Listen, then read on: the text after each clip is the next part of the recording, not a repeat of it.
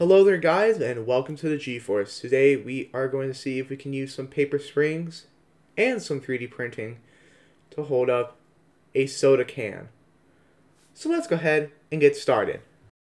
Alright, so you've probably seen paper springs before, but in case you haven't, I went ahead and made this little demonstration here. So this is just a very poorly drawn happy birthday card. If we open it, you find a little spring.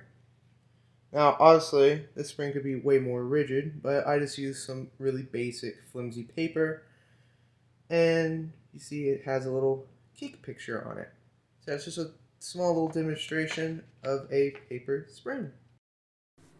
Alright, so now that you for sure know what a paper spring is, let's go ahead and take a look at that 3D model. Alright, so I have gone ahead and designed the little wafer, as I'm going to call it, in Fusion 360. You see it's just a square with some rounded corners, and this will hold our Coca-Cola can. So let's go ahead and send that off to the 3D printer.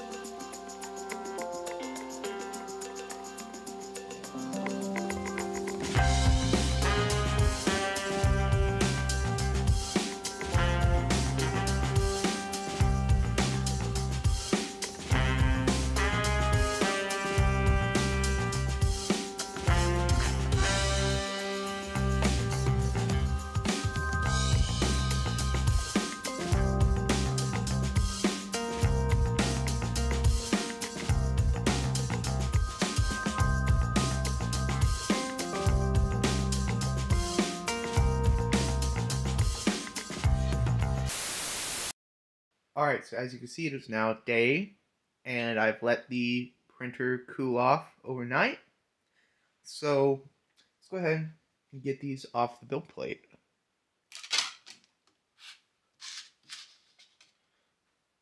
Ta-da! Alright, so as you can see, we are now at the kitchen table, and we have all the parts we need to make our stand. So I just cut out four strips of paper.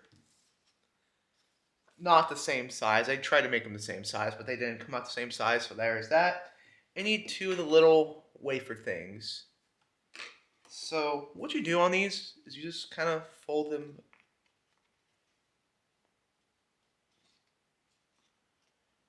one way. You fold them back the other way. And then this process just repeats for all four of them.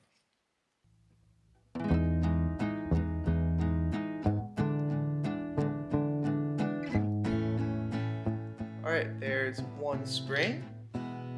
Now we have just three more to go.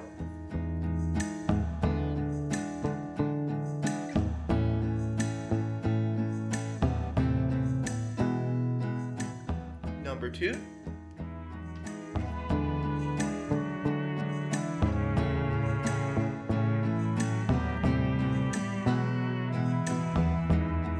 And the final one.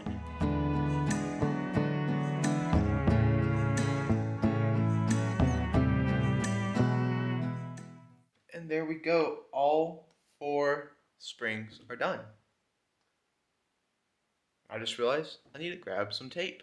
So I'll be right back. Alright, so now I am back with some tape. And if you had double-sided tape, this would be better. But I'm going to take this and I'm going to fold it I'm going to fold it. If I can get it folded, man, this tape does not want to fold.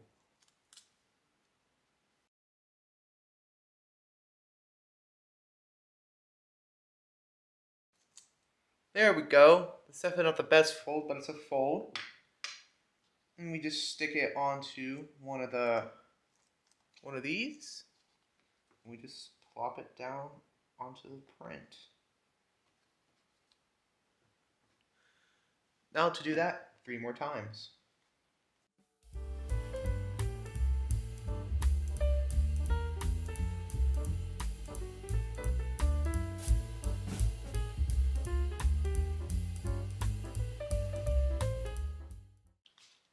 Alright, so now we have all four springs attached on the bottom wafer.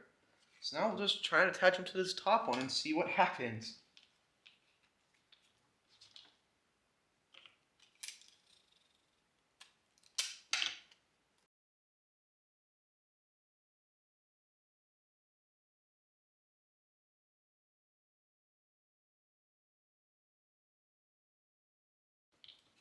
Alright, so now I got all the tape on all the sides. I'm going to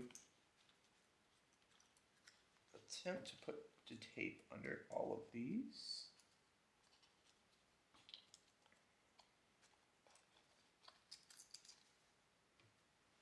would you look at that? It Doesn't stand up the best, but it stands up. Alright, I'm gonna go grab a soda can and try and put it on here and see if it works. Alright, so I got ahead and grabbed a soda can, and let's see if it can hold it. Oh, would you look at that? It can't. I wondered if, if I put these springs on the, try to put the springs on the inside, it would work better.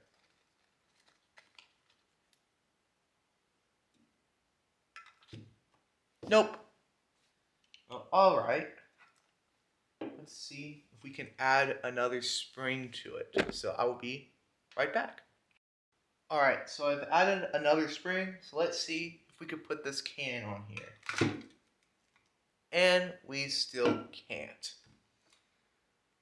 So I think to answer the question of can you use paper springs build a little stand for, like, let's just say a soda can? That answer is no. But you can hold other things on it, maybe such as this tape, or this pencil, or maybe even some ketchup packets. But anyway, that's all that I have for y'all. If you've enjoyed this episode, please consider liking and subscribing. As always, thank you for watching the G-Force.